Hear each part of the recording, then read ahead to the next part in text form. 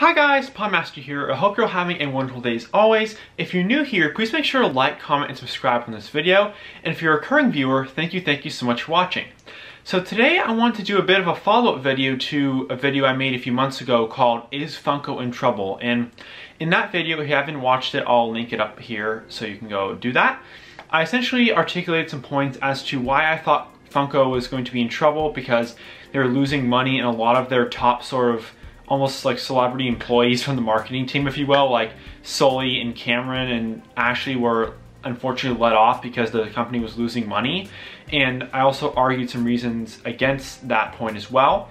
But yeah, overall, I kind of came to the conclusion that Funko was going to do okay because I thought that their stores were reopening and one of the initial reasons I thought they weren't doing well was because the brick and mortar retail stores that Funko puts their products in, like Hot Topic and GameStop were closed due to the pandemic and they wasn't really sure where they when they were going to be reopened in most states. But I saw an article that uh, that was posted on Instagram by an account named Big Poppa Pop. So big shout out to him. I'll link the article down in the description.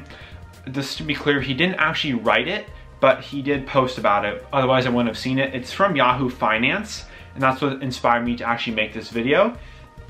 And it is called consumers indulged in Funko Pop figurines during the coronavirus pandemic. Not even a global pandemic can, can keep people from collecting their Funko Pops, which is certainly true.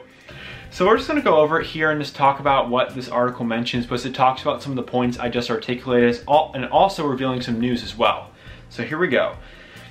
And according to this article, Funko's Q3 earnings showed that although their stock is down nearly 40% year to date, as in from January until right now, it's up 64% in the past three months. And they accredit this shift for a couple reasons. One, which the article doesn't specifically say, but I'm assuming because a lot of their brick and mortar retailers like, like Hot Topic and GameStop are actually open for in-person shopping. So if you want to go buy a pop, you can go there versus just getting it second market or something, or second hand. But uh, according to Brian Mariotti, we were very fluid with our ability to move products from specialty where there was no mall traffic to our direct consumer. We went from only 200 of our own products on our website as late as June of this year to now well over 2,000 products available on our website.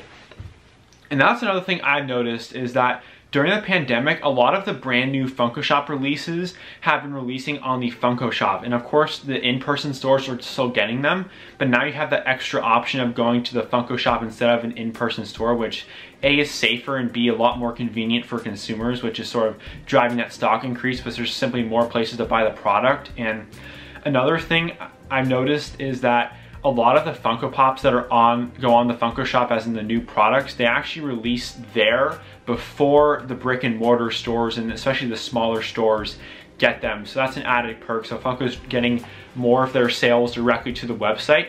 And as a result, they're actually making more money per sale because the whole thing with the retailers is that like the Funko kind of needs the retailer to be the middleman between themselves and the consumer. So they give the product to the retailer who gives it to the consumer. So obviously when you cut out the middleman, you don't have to give them any sort of commission of the sales. So they make a lot more money that way. And I think that's been really a driving reason why the, the company's been doing a lot better recently is because they're keeping a larger percentage of each Funko Pop sale than they would have otherwise. And I think that's a huge move that will definitely continue in, the, in this sort of post-COVID world once the vaccine is widely distributed, which I think is really interesting. And also, I was really surprised because I knew that the Funko Shop before the pandemic didn't have a whole lot of products, but only 200? I mean, wow. That is a shockingly low amount, and I can't believe they already have 2,000 products. That's an increase of over 1,800 products in just a few months, which is absolutely crazy if you really sit down and think about it.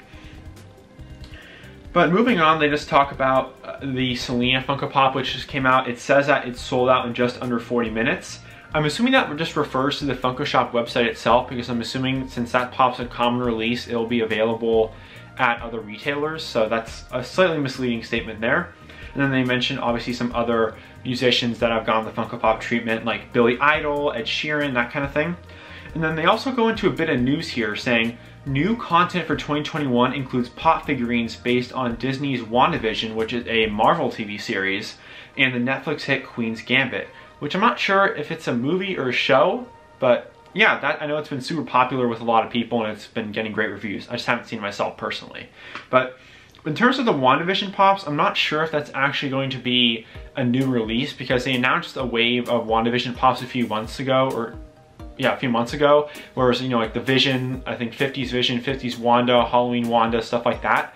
So I'm not sure if the, the article is referring to is that that line is going to get a wider release in 2021 where it's not just the Funko HQ or the Funko Shop getting them because they get them a bit earlier or if it's actually a, a, second wave of figures. So we'll have to kind of stay tuned on that. But with the Queen's Gambit Funko Pops, they have not actually announced those officially. I mean, I would assume they make them since the, the show is so popular and I'm assuming a lot of people would buy them, but there's been no official leaks or leaked images that I've seen. And they kind of go in here to some details about what the Funko Pops could be, saying that the they were going to make three outfits, like they said, um, we've they've had a wonderfully humorous dialogue on what the three outfits are going to be. So I'm assuming the three outfits are going to be for the main character, whatever her name is. So maybe they'll have like a chase or exclusive in there as well. The fashions are amazing in that show, says Brian. And lastly, this is another thing that kind of proves the point that Funko is going to have some long-term success is the Pop Yourself program, which just began in Funko Hollywood and Funko HQ. And that's an experience that fans have been asking for for extremely long time. And according to this article, the Pop Yourself will be moving online late next year. Unfortunately, I'm a little disappointed with that time frame because if they're rolling it out now in December, I don't see why they can't just, I don't know, maybe move it to say June or July or something, maybe earlier. But yeah, I don't know. I'm just really disappointed in that, and I hope that maybe the in the long term that will be very profitable for Funko. But yeah, anyways guys, this has been an episode of Popmaster, me doing a bit of a follow-up video to one I made a few weeks ago. Thank you all so much for watching, and have a great day. Bye.